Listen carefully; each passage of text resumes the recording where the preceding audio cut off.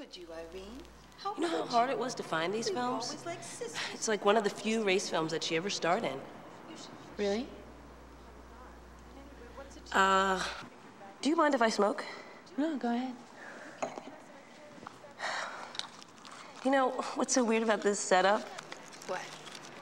I don't know, it just feels like, you know, a setup. Like, I don't know, you know, all this dinner and, And what? And friendly conversation. Well, I have to confess that I am a little. No, I'm very attracted to you. What? Um, I was just gonna say that you're really a cute woman. I know that. I heard what your friend said at the video store. You heard us? I've had the hots for you since the minute I saw you shelving tapes. Can I have a cigarette? Sure, help yourself. Is the um, fire in there too? Uh, yeah, but it's a little lighter. So, um, now that we know that we're attracted to each other, what do we do? Um, Don't you think we should kiss?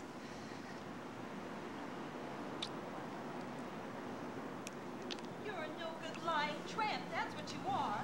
Committing a sin that will surely send you to hell. I am going to hell, but not for being a tramp, but for being poor and living on the streets like I've had to do.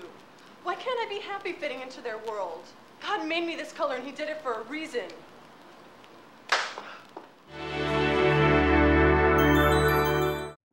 Hi. Hello, everyone. Um, my name is Tara Brown. Welcome to this BFI at Home event.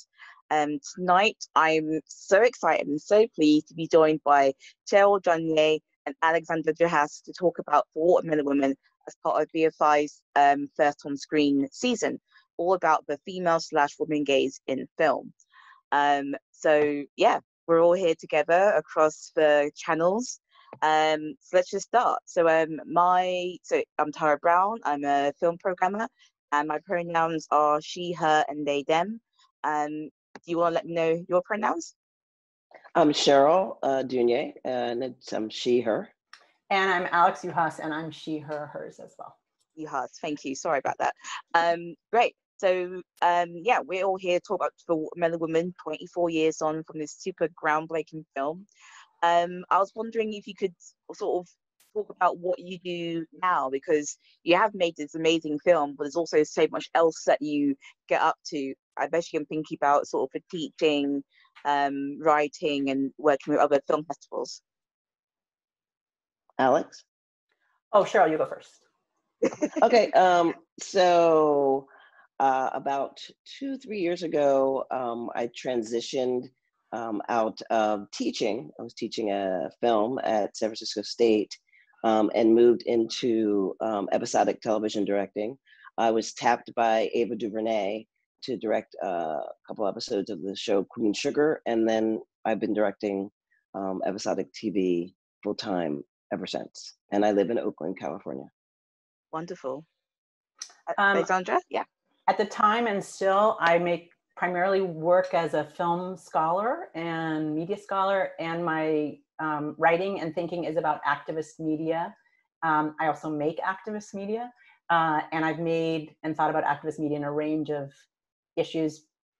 I began thinking about AIDS activist video. Um, I have a book that I co-authored with Yvonne Welbon about Black lesbian cinema. I work on YouTube and digital culture, and um, the Watermelon Woman and the Owls, which I also helped Cheryl with, are the only narrative films I've ever worked on, but I think of them as activist media as well. Awesome. And um, Alexandra, I think it might be interesting to sort of you can expand on your role as producer for Woman Woman because I think people always recognise Cheryl Dunye for her amazing work and blending of styles, but producer also has a massive role to play when getting this piece of work um, up on screen, don't you think? Of course. Um, and again, I would give a shout out to the book Sisters in the Life, which is um, that I co-edited with Yvonne Welbon, because there's an amazing piece in there by Candace Moore about the role of producers in Black lesbian cinema. And she interviews me and a bunch of other producers. And um, so I go over there if you want to know about it uh, more, more people who do this. But because um, these films have been so undersupported, although desired by their community. There's been very little money to make them and a lot of passion to Yeah. see them made. And the Watermelon Woman certainly came from a place of no money, a lot of passion. It occurred within inside a close community of queer people, lesbians, people of color that were friends of Cheryl and I and our community. And um, sort of produ- producing the infrastructure so that someone's vision, like Cheryl's, can happen as a group project of love and energy. And producer helps mobilize that. But Cheryl also produced it, so we Mm. did that together. And we had a co-producer named uh, for that movie called Barry Swimar, who was one of the producers of paris is burning Oh, wonderful. Great. Thank you so much. And um, you know, you two have had this sort of wonderful relationship for um, several years now. So were you friends before we made Watermelon Woman, or was it kind of during that process? Yeah, we met in, um, I guess in the early 90s. Was that right? Like 90, 92, maybe? Yeah. Somewhere around there. And then we became a couple in 90, immediate, so- somewhere within early time after that. And then um, we made this during our coupledom and we also had a couple kids and um, in the early mid early 2000s we um, divided our ended our relationship as uh, partners but we of course are connected through projects and kids Yeah, yeah. Wonderful. And of course, there's a there's a story Cheryl likes to tell, but I'm happy to tell it now about how we basically traded. I said I would produce the Watermelon Woman if she agreed to move to California with me for my first uh, job that I got there, and I knew nothing about producing films, and you know made it up as I went along. Uh, but it was worth it. great, great. Um, in the film, um, they got this you know central relationship with sort of Shell and Diana, and there's a lot of um friction and sort of um conflict that kind of that kind of brings up in the film, especially with Cheryl and her friends. Um, I was just kind of wondering how you think those um perspectives on that kind of dating, you know, um, whether it's sort of yeah, how that sort of dating idea is that sort of evolved since then? Do you think people think differently now, or do you think it's all sort of the same issues coming up over and over? I think it's you know pretty much the same interracial queer dating, um, interracial dating in general. Um, I think those. I mean, it's just who tells the story. I mean, rarely do you hear it from the person of color side, but you know, sometimes you do. Um, but I think the same issues, uh, you know, people have, you know, within themselves about their community. Uh, I, I think those are still relevant from the film. Um, and I think it definitely, you know, a lot of queer people are dealing with it, but you know, I I I, I think there's still just not an invisibility, but um, a shifting that's happening right now with with hearing from the other side of the rainbow, as I would say, Mm, um, about what what being in these situations are like. Definitely, even in more media like uh, literature too. So you're, you're we're just starting to hear about it more. Yeah, yeah, definitely. And um, do you think Watermelon Woman was it more about representation, or was it more about sort of the statement or sort of decentering white voices to tell your own story, or was it a mixture of both? I think it was more about spunk and chutzpah and doing it and being the first one and getting my story told as an artist. Um, I think, you know, it's sort of by any means necessary that it had to come, you know, it's like birthing a baby, you know, so it's just like I had to do this uh, creatively and it stitched together, I think, all of those things. Um, as you make a piece of art, you really don't know the outcome per se and, you know, what effect it will have. You know your income, what you're going in with, um, and knowing that you're tapping on things. And when you gather a crew and people together, you know that you know definitely people believe in it, so that you're riding on a lot of energy and uh, possibility. But never, to my mind, did I know that this film would have relevance and um, impact still at this Mm. point. I'm not thinking about that. You're thinking, uh, you know, it's a more yeah. immediate um, impression that I wanted to to create um, and feel. So to for this to be you know, sort of my oeuvre and big piece that I made, or you know, a major thing of my life, I'm uh, more joyful and surprised that I went ahead and did it. And and and, and it also says about intuition um, as a queer person, as a, an artist, to live and have experiences so I can tell stories. Absolutely. Um, do you want to add into that, Alexandra? Well, I would just say back to the question about um, interracial dating, sex, desire, and community. That is one of the main issues of the Watermelon Woman.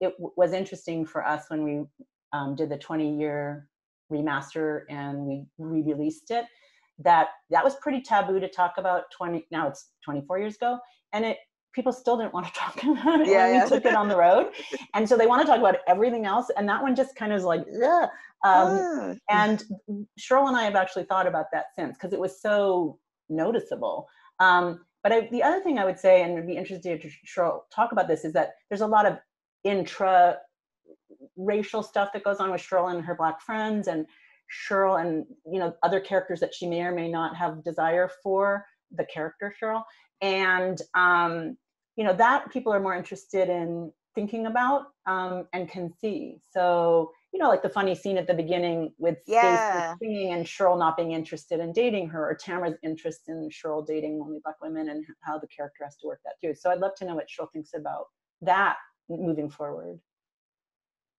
Uh, uh, can you, sorry, preface that again? I was taking making notes and now I lost the original question. Well, So, about about intra black dating, about the things that the the film also raises about your desire or not desire for the black women around you and the um, I think you know people have not progressed that much about it. You know, I mean, I think there's, oh, I, I think it happens. There's not a discussion. Um, if anything, more. Um, we're starting to see more of it in shows, you know, and out there in other media. So I definitely feel like this new generation, the generation of our kids who are 22 and 21, um, are basically experiencing our dreams, you know. And if we ever on that queer rainbow, they're they're having a queer rainbow life in the sense that they're they're they, they're the theys and thems, and you know they're pushing those boundaries. Um, uh, they say that you know most uh, kids in that age group in the U- United States of America right now are queer.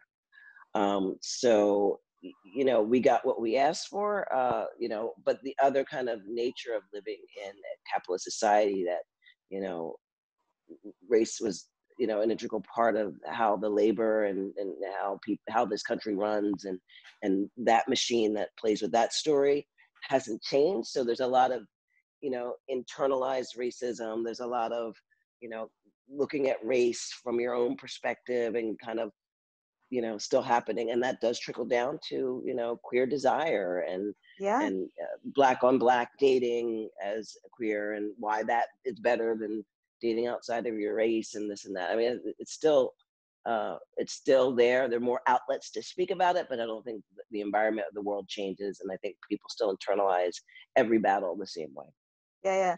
And like, why do you think people do find it difficult or to actually talk about that interracial interracial relationship? Like, you know, half the time it's a cover on the film itself. It's like one of the, the film's most, you know, indelible images, but people seem to be saying people are kind of avoiding it. I, I'm kind of wondering what, what, what are they scared of? What are they scared of that they might find or scared to learn about themselves even? Um, it's a birth of a nation in everybody you know what i'm saying it's like yeah that, that's basically what it is it's your own birth of a nation that you carry on yourself and that the world has put on you to see that we don't see that desire out there it's not you know uh, it's not part of the master narrative of any world to see your parents even whoever they were uh, you know what you know whatever how they identify having intimacy our culture does not you know value uh, conversations about sexuality in general. I mean, um, Western society doesn't. Um, it's you know something in the dark and, and something you know to s- it you always know, sort of uh, unspoken y- rules and sort of right. So is how you're supposed to look it at people. Yeah. right. So for it to be integrated into a narrative in itself is already you know taboo. then to go and put it as something real and natural within context of uh, a lesbian desire in the 90s you know it's it's a little cray and and that's why people definitely sort of were not talking about it I, I also think if you look at the way just that sex scene is set up and i know you guys want to talk about the sex scene the and what Cheryl said about birth of a nation and the history of cinema they're watching an early the, the two characters tamara and cheryl no not tamara diana and cheryl are watching a sex scene um, that uh, I'm sorry, they're not watching the sex scene. they're no watching just a clip from a film a clip from a film and the politics of racism and racist representation is so live in the room between the characters and what's weird about that moment is that it that live energy that crackle which is political um, then shifts into the sex scene but it's so deeply politicized in american culture right it and was it was British a clip about passing um and so Yeah. the light the light skinned character Put some white um, powder woman and was yeah. putting and she said enough with that white powder and there's a slap and that same violence translates to this violence. Uh, that same interrogation or not addressing the interrogation addresses into it but that desire is still as hot you know? It's still like the good slap you love. And it's not and it's not i mean what's complicated about that cut and then what happens between the two of them in the sex scene it's not just violence. Although histories of violence are certainly written around it there's many other emotions that are live when they're because you guys are so cute with the sharing of the cigarette beforehand. So there's all this like early love and you know cheryl's character in particular is so naive and um, so you know it's the opposite of violence too that you're per- performing. And then it turns into you know the sex scene which is very intimate and fun.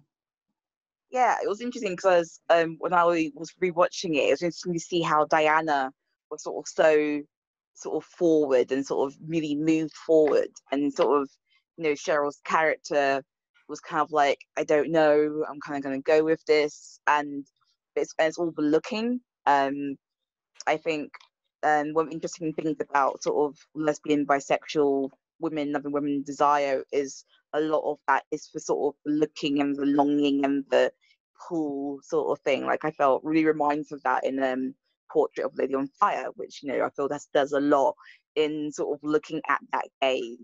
And it was interesting seeing it as well, like in the queue for the fruit stall, and Diana's friend sort of is all a bit stressed for whatever reason, and there's still those sort of looks and backs and forths, I think. And then, I mean, do you think that? I think it all applies a lot to sort of a woman gaze of desire. Do you do you agree with that, or do you think it was something different? I, you know, the gaze, the gaze, the gaze. Um, I think that's what you know. Uh, there's there's there's a, a sort of um, uh, pleasure we get out of looking. You know, uh, in general, um, be it you know being a flâneuse and walking through the city to you know um, now where we're just online constantly, you know, on our devices, looking at Instagram and getting some sort of pleasure.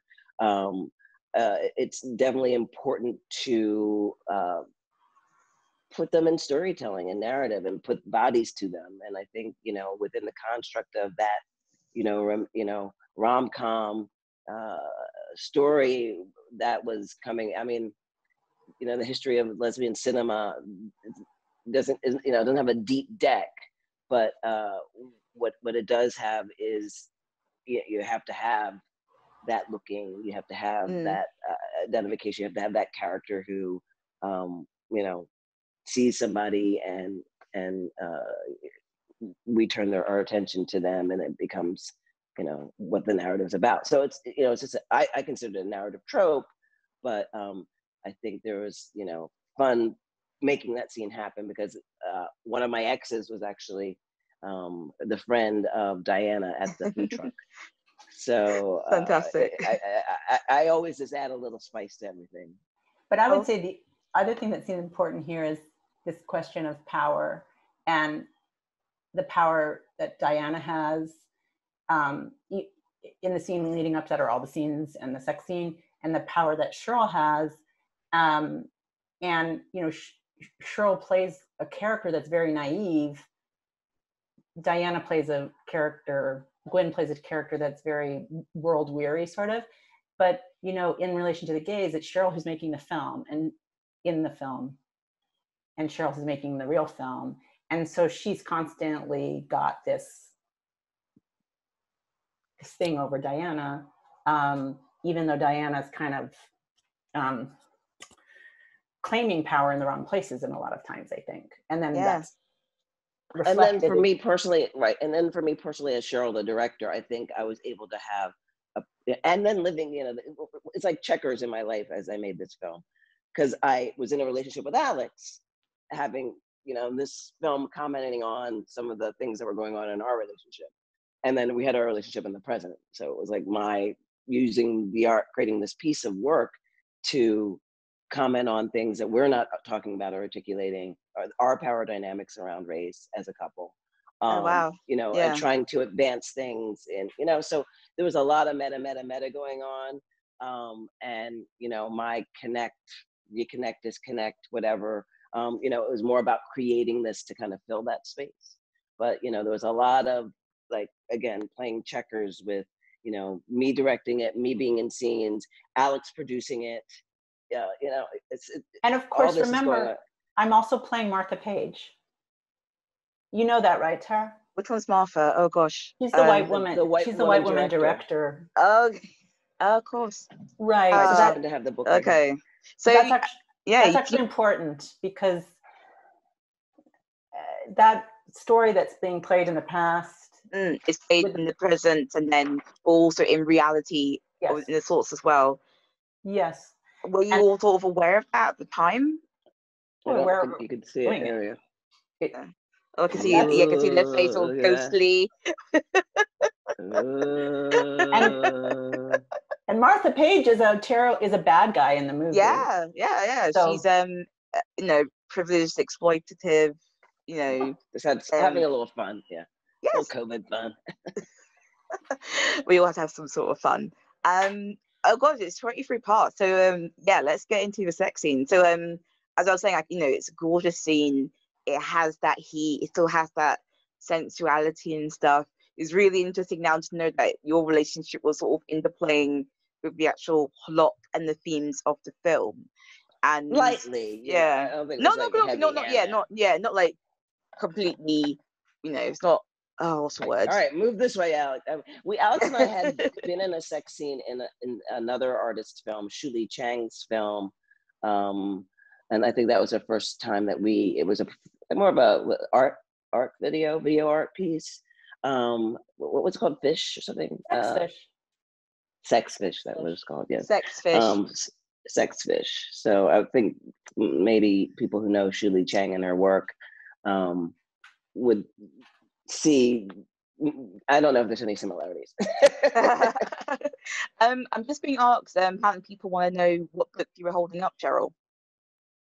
oh, um, it's called the Fae Richards Photo Archive, and it's the book that was published by the photographer Zoe Leonard, who we collaborated on to create the um, uh, pictures that appear that I find in the film. So you can get this on Amazon and uh, other places. I think it's a Art Space book. I would go to Okay. Art Space and Yeah, get it. Zoe And Leonard. I, I, I, Zoe Zoe gets the money. I never received a penny from it, but I, it's an important document to have because I think it really is this archive, and you can see all the pictures. And I'm actually in one photo, but you wouldn't even know. And my mom's in the pictures. Alex is in the pictures. But we had to create this because um, uh, we we we couldn't afford to uh, buy an archive. So as a strategy, it just came to my mind, and I was in an art environment already. had just graduated from uh, Rutgers, and I got my MFA there to work with another artist to create these pictures with my friends and make the pictures that I wanted anyway.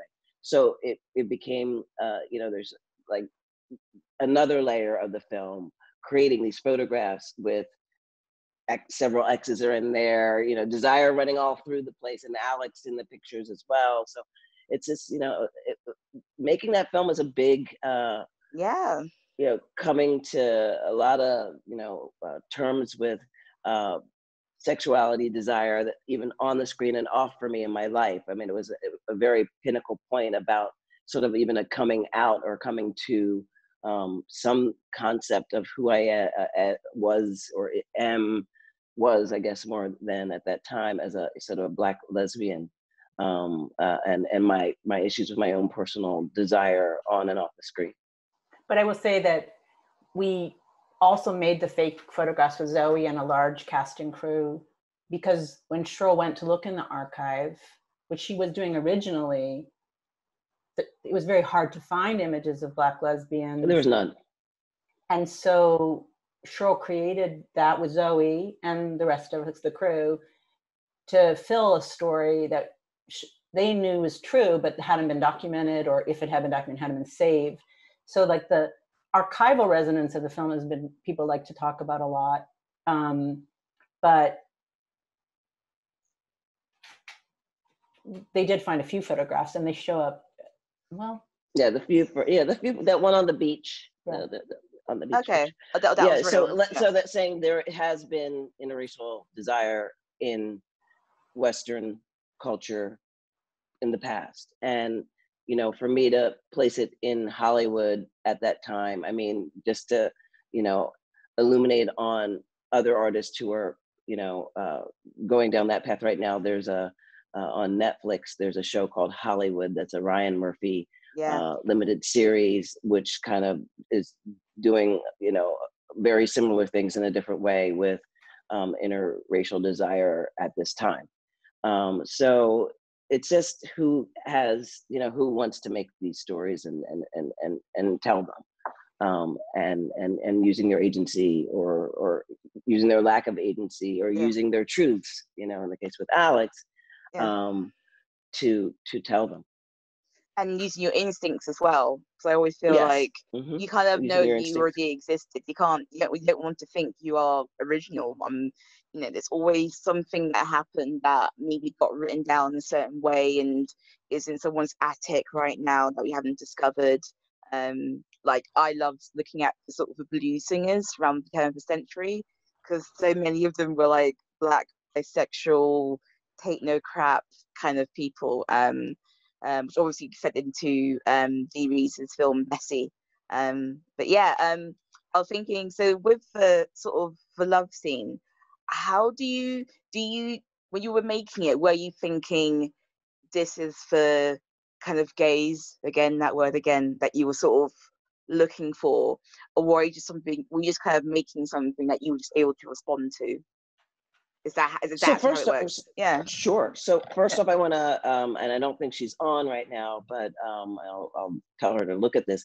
I want to um you know give a big shout out to michelle crenshaw the cinematographer who shot it. Um i've, I've worked with her again in the past and she helped um with the 20th anniversary uh, re-release print and why it looks better is because she really took the time but um and and trusting her instinct to deal with this because I was in the scene was something, you know, I let it, you know, I let it evolve that way. Um, we had several conversations. Um, Guinevere was a little bit more um, accepting. I mean, we had those kind of, you know, conversations between the three of us, kind of two, two of us. Um, uh, this is a point where there, you know, independent film was not as, you know, was much more independent. So I think there was yeah. a bottle of tequila in the room. Um, there was no crew. It was just Michelle and I and and Guinevere. Um, everything was set up, so we had a closed set, and um, we just went for it and just really recorded it uh, with all our nerves and energy, and um, uh, with a lot of references to uh, other films that I wanted to, you know, see those camera moves and things like that again, and ways not to be so explicit because I think even at that time we were concerned about you know, how explicit this could be, but how much to how much to how to cover it in a way that we can get the most out of it in the edit that would still be you know uh, sexy and and still arouse and still stimulate. So the shots of the hands, um, put in the right place, falling in and out of frames. I mean, these become things that people um, use today still in films. I mean, I discuss them every time we're doing a sex scene in a, a film on a, a, a an episodic level, I always try to get that hand shot because it just it represents that you know thing and it's That so, cling, you know, right? of- yeah, Yeah. that clinging, you know. that. so you know, it's and and again, um, you don't know that when you're doing, especially when you are in the scene. So there was a lot of nerves around that. Guinevere was riding on her. Um, uh, riding high in her life at that point, so she was becoming, uh, uh, having done Go Fish, and she was quite the you know becoming a, a, a more uh, of a figure in the lesbian community so she was sort of a mini star starlet at that point um and so there was also that you know i don't think i was uh, having worked in, with her on the uh, show on watermelon woman for long enough it was like when just stop and let's do it you know what i'm saying And, like Yeah, yeah. let's, let's get this done we have so much more to do um, and we have no money. So there was, you know, all those factors went in, but um, it was, it, it was, it was a relief. I think Alex might have another story, being on the other side of the door, told to leave the room um, to let this happen. Maybe you want to say something, Alex, about it.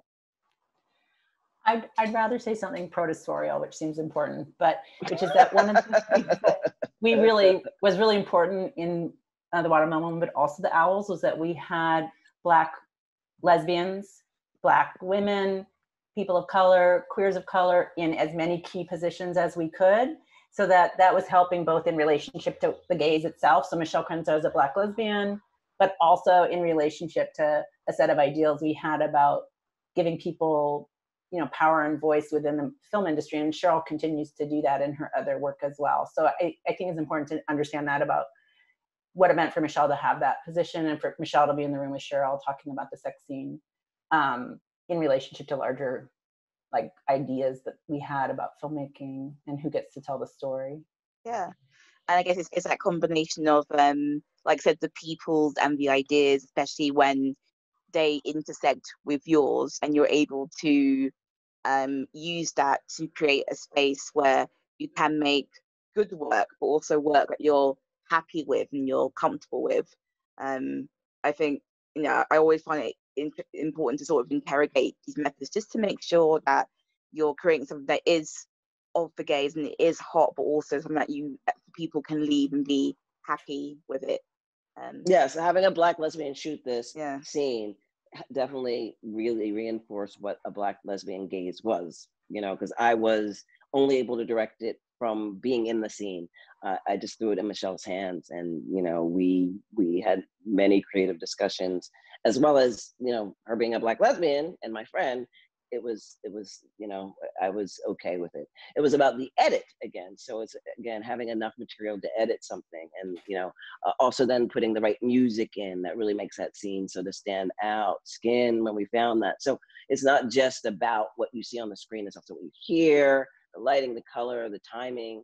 Um, our, our dp was a woman not a woman of uh, i mean our uh, editor was a woman not a woman of color um, but she was foreign french that might have helped a little bit um, but you know definitely uh, and, and older um, than we were at the time um, so I think there was a, a maturity around re- representation of images where, you know, uh, and, and kind of getting it right.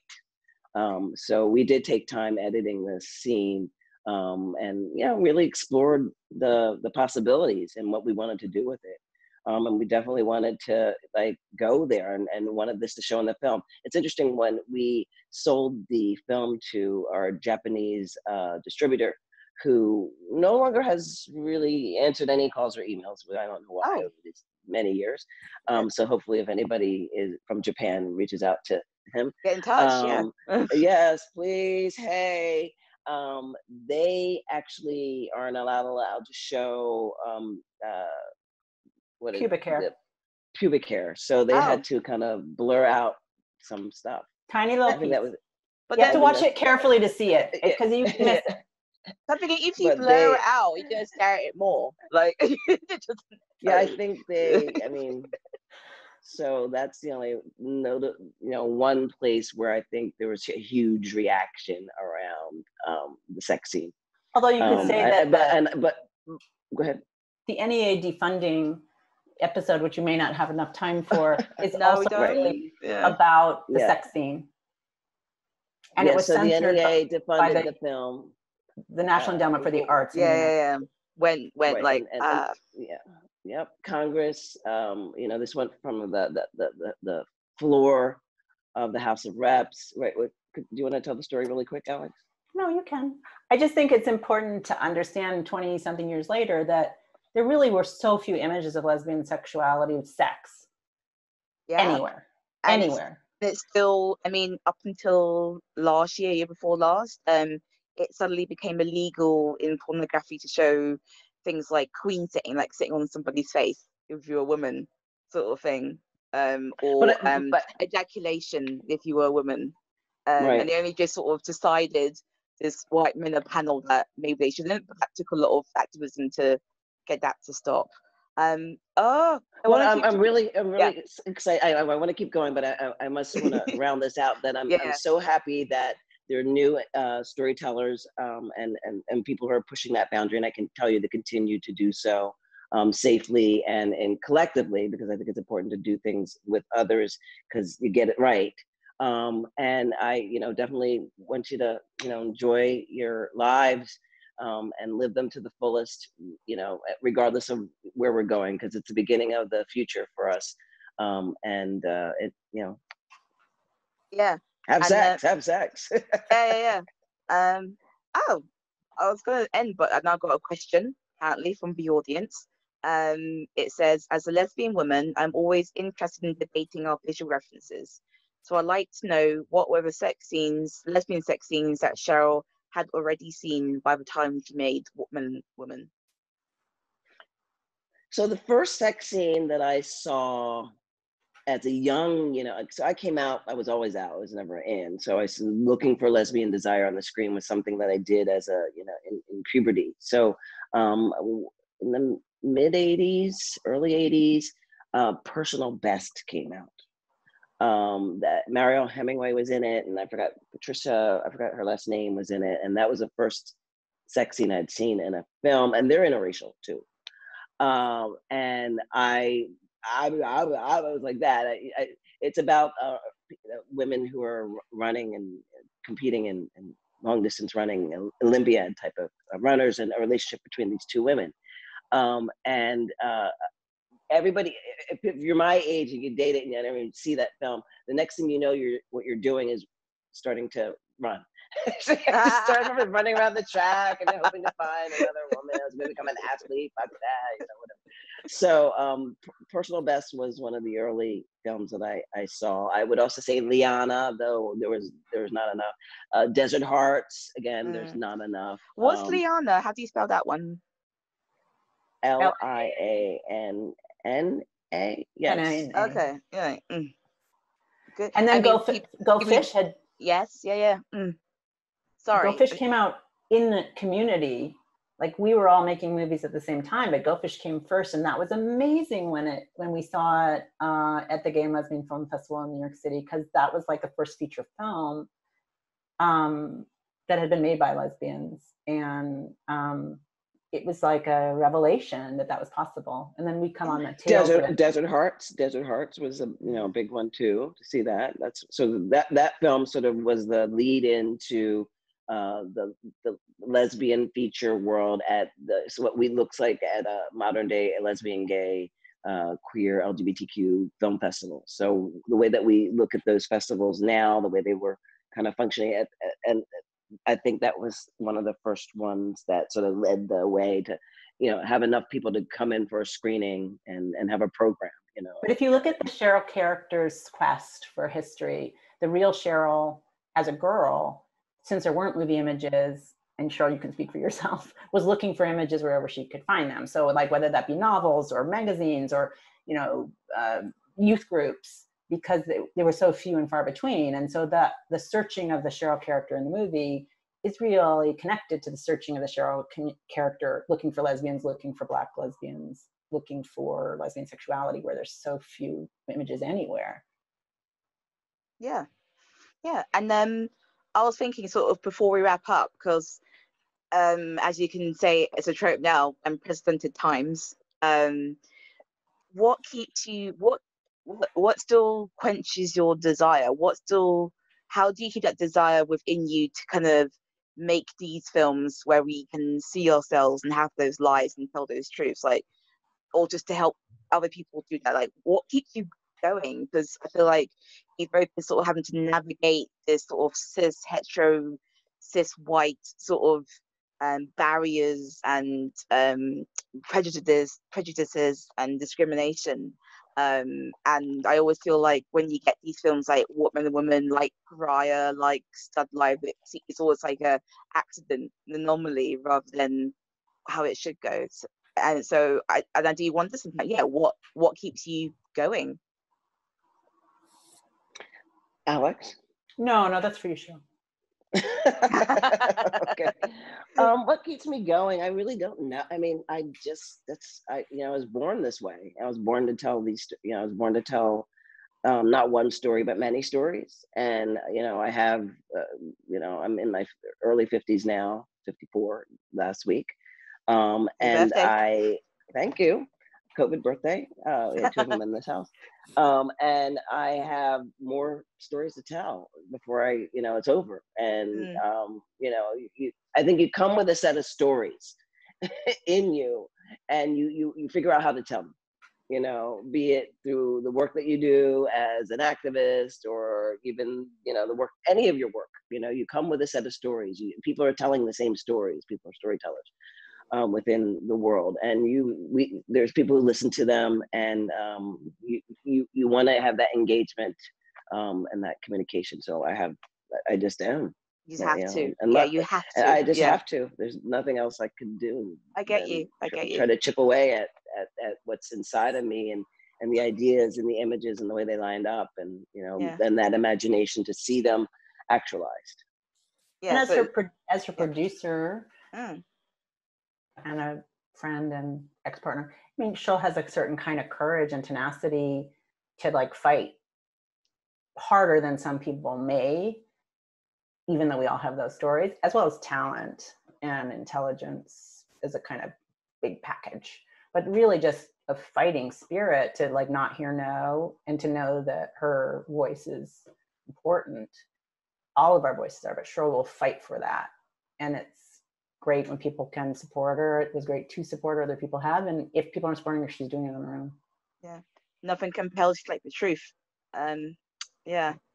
Um, so before we wrap up, um, please let us know um how if you if you want to keep up with you, how can we keep up with whatever you're doing and such? Promote yourself.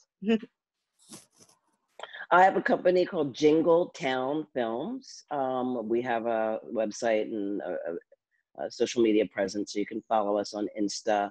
Um, there's also Cheryl Dunye on Insta. Um, and there's uh, you know a website as well on Facebook on all social media platforms. Um, you can watch the shows that I have worked on episodic wise while you're locked in. Um, I've done and just type my name in and you'll it'll come up on IMDb. But I've worked on Queen Sugar, um, uh, I worked on Claws, which is a fun one. Oh, and it's, it's so interesting. The shows I've worked on are very queer and of color. Uh, like I've been Brilliant. honored to work on on Dear White People, you know, um, mm. um, with a, a creator, black queer showrunner, um, uh, and Tarell McCraney's um, David Makes Man, um, which is uh, nominated for a Peabody uh, this year um, was I was one of the there was only three directors or four directors on it, and I was one of the directors who did some you know and, and Tarell right? The words were beautiful. So uh, uh, and creating these images were great. And so it's great to again do things with others um, so you can even become better. So I'm when I really actively am working on is how to become you know better. Awesome, um, Alexandra, please promote yourself. Um, well, my, most of my work is as a scholar and an activist, and my current work is about AIDS, has always been and continues to be about AIDS. I have a lot of work coming out right now that's thinking about the relationships between AIDS and COVID, working with a activist collective called What Would HIV Doula Do? And I also have a large body of work thinking about fake media, which came out of the Watermelon Woman. And so I have a pro project that I'm working on right now. I'm about to let loose a podcast about fake poetry that I've been writing with people around the world about fake news. And it's called We Need Gentle Truths for Now. And it, it premieres tomorrow. And um, you can follow me on my website and on Media Praxis Me on Twitter. Okay, great. And you're saying launches tomorrow. Where's that launch? Everywhere. Everywhere. Oh, thank you so much. I feel like we could have talked for Thank a good hour Thank or two. you. Like I can be going into Yeah. it. So I'm so sorry I have to end. But um thank you so much, Cheryl. Thank you so much, Alexandra. I've had a great time. Um Well, you and everybody have been wonderful hosts, and you know it's always uh, you know amazing to have the opportunity to to speak to audiences about the work. Um, and I thank you guys for pulling this together. And uh, see you at the at the movies. see you at the movies. So um, if you enjoyed this event, please consider donating to the BFI. They are a charity and their venues are closed during this lockdown. So your support helps them keep going during this period of closure. Furthermore, there are lots of BFI at home YouTube events happening all the time, including a feel, female desire discussion around the film Bound next Thursday, which is, oh, um, you'd be sweet to miss it. So please subscribe to the channel and come back next week. Good night. Thank you so much. Bye much. bye. Bye.